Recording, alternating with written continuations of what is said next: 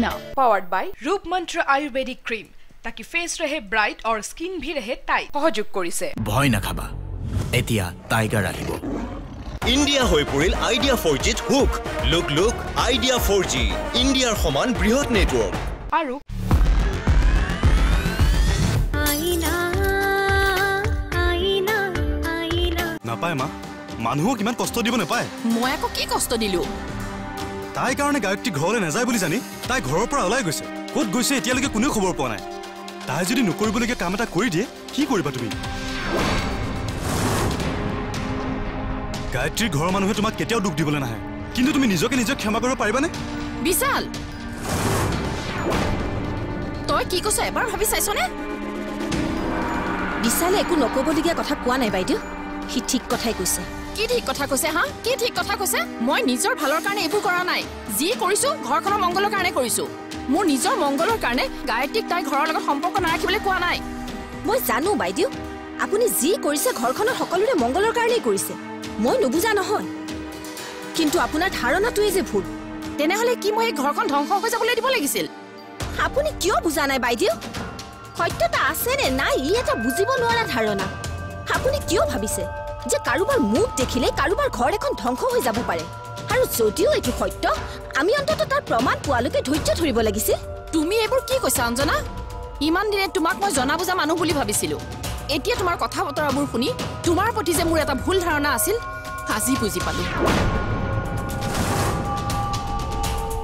আৰু কি কৈছিলা তুমি? প্ৰমাণ পোৱালৈ বাট চাব লাগিছিল। জুয়ে পুৰে বুলি জনাৰ পিছত জুয়ে পুৰে নে নুপুৰে চাবলৈ তাৰ ভিতৰত হাতখন সোমোৱাই দিয়াটো মুখামি কৰা নহ'ব জানো?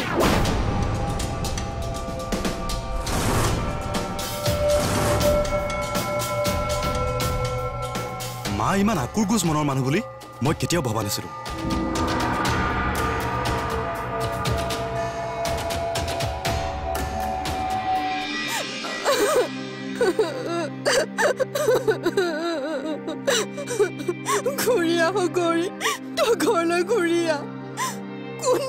নালাগে আহিব তই ঘূৰি আহ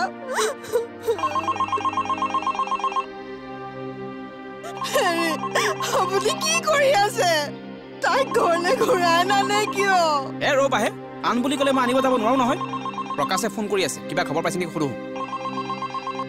অ প্ৰকাশ কচোন কি নাই অ' কিবা খবৰ পালে কবি আৰু মোক এনেদৰে সুধি ডিষ্টাৰ্ব নাথাকিবি খবৰ পালে মই তোক মিছ কল দিমেই নহয় কি ক'লে? কি ক'ব আৰু? ফোন কৰি কৰি আমনি কৰি আছে। আৰু তুমি? উফ ৰাম। খবৰ লোৱা মানুহৰ উৎপাতে সহ্য কৰিবানে নে? ফোনৰ উৎপাতে সহ্য কৰিবা? তুমি ভিতৰলৈ যোৱা। একেখিনি কথাকে ফেনাই থাকিব নালাগে। কোন আহিছে মই চাই আহোঁ। কোনোবা আহিলে কৈ এই সময়ত? তাই গৈ ক'ত বা আছে নাজানো আৰু। এতিয়া কি কৰিম বুলি ভাবিছো? নাজানো। কিন্তু এইটোও সঁচা। যে সিহঁত ঘৰলৈ নহালৈকে মই ঘূৰি যোৱাটো ভাল কথা নহ'ব। তই ঘৰলৈ যাৱ নাযাৱ সেইটো পাছৰ কথা। কিন্তু ঘৰতে আগতে ইনফৰ্ম কৰি দিয়াটো ভাল আছিল নেকি? কি জনাম? ক'ত আছো বুলি জনাম? ফোন কৰিলে হাজাৰটা প্ৰশ্ন। সেই প্ৰশ্নবোৰৰ উত্তৰ মোৰ লগত আছে জানো? মামীয়ে মোক ঘৰত কিয় নাৰাখিলে? সেই কথাটো জানো মই নজনাকৈ আছো। কিন্তু জানিও মই মামীক একো দোষ দি কথা ক'ব নোৱাৰো। হয়তো মামীৰ তাত একোৱে দোষ নাই।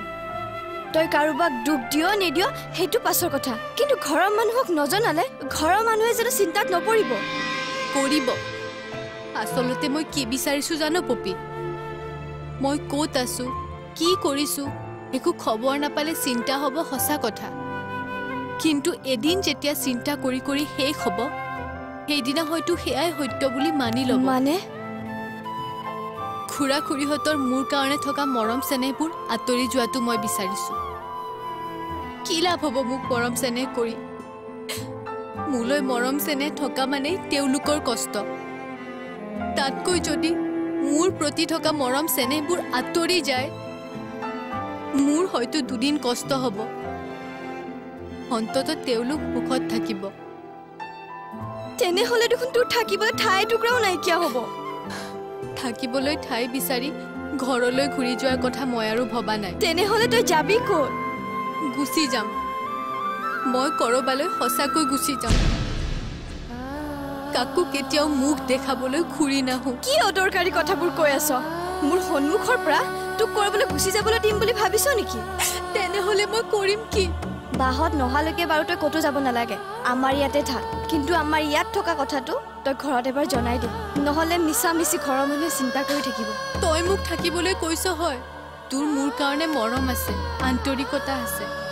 কিন্তু তোৰ ঘৰৰ মানুহে জানো এই কথাটো সহজভাৱে ল'ব পাৰিব? মোৰ নিজৰ ঘৰৰ মানুহেই ল'ব নোৱাৰিলে। তেনেস্থলত তই সেইবোৰ চিন্তা কৰিব নালাগে।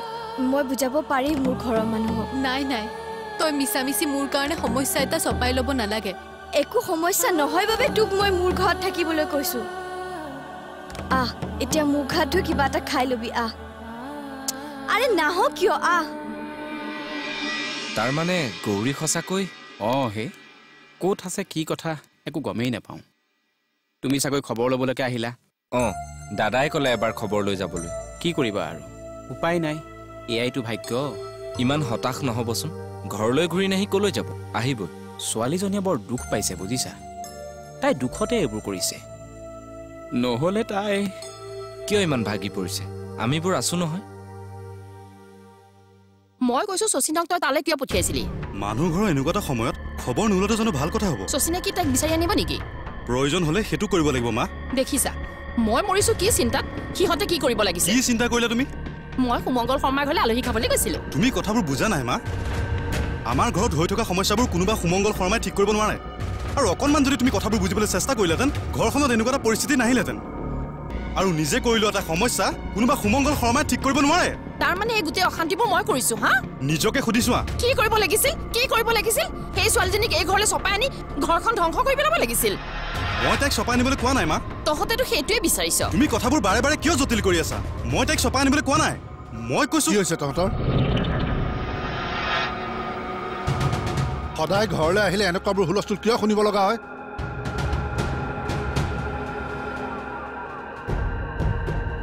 মানুহৰ ধৈৰ্যৰ এটা সীমা আছে। সদায় যদি এনেকুৱা হৈ থাকে তেনেহ'লে সেই সীমা চেৰাই যাবলৈ কিন্তু বেছি দিন নালাগিব।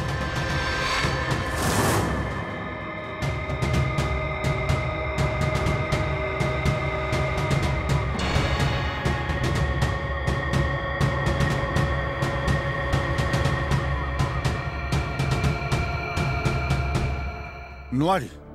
ইমান সহ্য কৰিব নোৱাৰি। কি হ'ল? দিনটো কষ্ট কৰি আহোঁ আৰু ঘৰখনত ভৰি দিয়ে হুলস্থুল। আকুৰগুজ মানুহ বহুত দেখিছো। কিন্তু বৌ যে ইমান আকুৰগুজ কেতিয়াও ভবা নাছিল। ভাবিছিলো হুলস্থুল কৰাতকৈ তেওঁ কথাবোৰ নিজে নিজে বুজি উঠক। মই যিমান পাৰোঁ বুজাবলৈ চেষ্টা কৰিম। কিন্তু নাই তেওঁ অনবৰতে একেটা কথাতে লাগি থাকে। এতিয়াই গৈ দাদাক কওঁ তেওঁ যদি বৌক বুজাই বুজাওক নহ'লে ৰ'ব। আপুনি চাগে দাদাৰ ওচৰলৈ যায়। অঁ কি কৰে সি সোনকালে কৰক। মানুহে ঘৰলৈ শান্তি বিচাৰি আহে। অশান্তিৰ বাঁহ এটাত সোমাবলৈ নাহে নহয়। পাতিব। আপুনি দাদাৰ লগত কথা পাতিব। কিন্তু আজি নহয়। নাই নাই বহুত সময় দিলো আৰু নোৱাৰি। আজি নালাগে বুলি কৈছো নহয়। কিয় নালাগে? যি হয় আজিয়ে হৈ যাওক। আজি নালাগে। সমস্যা এটা হৈ আছে। সমস্যা? কি সমস্যা? নাই নাই এতিয়াই থানাত ইনফৰ্ম কৰাৰ কথা নাভাবিব। থানাত ইনফৰ্ম কৰা মানে ঘটনাটো ডাঙৰ হৈ গৈ থকা। সেইটো ময়ো ভাবিছো। মানুহবোৰে এটাকে দহটাকৈ কি ৰূপ দিয়ে ঠিক নাই নহয়। ছোৱালীজনী ঘৰৰ পৰা নোহোৱা হোৱাৰ লগে লগে যাৰে যি মন যায় তাকে ভাবি নল'ব জানো? সেইকাৰণেতো কথাটো বহল হোৱাটো বিচৰা নাই। আপোনালোকে এটা ভুল কৰা যেন লাগিছে। ইমানবোৰ মানুহক কথাটো জানিবলৈ দিব নালাগিছিল নেকি? যদি চিনাকি কাৰোবাৰ ঘৰত আছে তেওঁলোকে নক'লেহেঁতেন জানো। হয় দিয়া। কথাটো ভুল কৰি যেনেই লাগিছে। আচলতে কথাটো ভাবিবলৈকে নহ'ল নহয়। যি হ'ল হ'ল আৰু। তাই নিজে ঘূৰি অহালৈ বাট চাওক। এইবোৰ কথা আৰু বেলেগৰ ওচৰত খা খবৰ লৈ নাথাকিব। কোনোবাই সুধিলে লগৰ কাৰোবাৰ ঘৰত আছে বুলিয়ে কৈ দিব। তুমি ঠিকেই কৈছা। মানুহে সুধিলে বাৰু সেইটোকেই ক'ম কিন্তু তাই আছে ক'ত? য'তে থাকে থাকক। তাই ফোনটো কিয় অফ কৰি থৈছে? তাই সঁচাকৈ ঘৰলৈ ঘূৰি আহিবনে? আহিব নিশ্চয় আহিব। বৌহত এইখন ঘৰলৈ অহা বুলি গম পালে তাই নিজেই গুচি আহিব। কথাটো মই আচলতে আপোনালোকক সান্তনা দিবলৈ কোৱা নাই। মই কথাটো ভাবি চিন্তিহে কৈছোঁ। ঠিক আছে বাৰু ময়ো বেছি দেৰি নকৰোঁ। সেইফালে আকৌ বৌয়েও চিন্তা কৰি আছে নহয়। আৰু এটা কথা ভাইটিকো কন্দা কটা কৰি থাকিবলৈ মানা কৰিব। এতিয়া মই আহিছোঁ। ঠিক আছে যোৱা। মানুহৰ আগত একদম কটা কটা কৰি নাথাকিবা। নহ'লে ভৰিৰ কোঠাৰ ডিঙিত মাৰি লোৱা নিচিনা অৱস্থা হ'ব। এটা বদনামে আতিছে আৰু। আৰু এটা বদনাম হ'ব লাগিলে খাবা আৰু ভাত।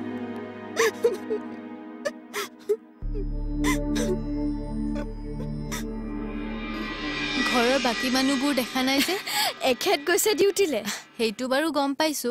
মায়ে গৈছে পূজাৰীৰ ওচৰলৈ। কাইলৈ সত্যনাৰায়ণ পূজা আছে যে তাকে নিমন্ত্ৰণ কৰিবলৈ। আহি পাবই আৰু। বেছি সময় নাই। মানুহ বুলিবলৈ আমি তিনিজনহে? ঘৰত একো হুলস্থুলৰ পৰিৱেশ নাই। তই থাকি ভাল পাবি। নাই নাই মোৰ তেনেকুৱা একো কথা নাই। অ' ঘৰত ফোন কৰিলি নে? নাই কৰা। কিয় কৰা নাই? মিছাতে মানুহক চিন্তাত পেলাব নালাগে। মোক ফোন নাম্বাৰটো দে মই জনাই দিম। ৰচোন ৰ মই কথাটো ভাবি চাওঁ। এতিয়াও ভাবিবলৈ কি বাকী আছে? মই দেখোন তোক কৈছোৱেই। তই এটা অদৰকাৰী কথা ভাবি আছ। সোনকালে ফোন কৰচোন। ঠিক আছে কৰিম বাৰু। এতিয়া তোৰ কি কাম কৰিব লগা আছে কৰগৈ যা মই ফোন কৰিম। কৰিবিতো ঠিক আছে কৰিম যা। খুৰাহঁতক ফোন কৰি কৈ দিওঁ নেকি? কম আগতে ঘৰৰ আটাইকেইজন মানুহক লগ কৰি লওঁ। আমি তোমাৰ প্ৰতিটো কথা প্ৰতিটো কামকে সহ্য কৰি আহিছো। কিন্তু তুমি দেখোন কোনো কথা মানিবই নোখোজা। কেৱল ঘৰখনৰ ডাঙৰ বুলিয়ে বা মোৰ দাদাৰ পত্নী বুলিয়ে তোমাৰ সকলো ভুল সহ্য কৰি থকাটো আমাৰ ভুল নহ'বনে?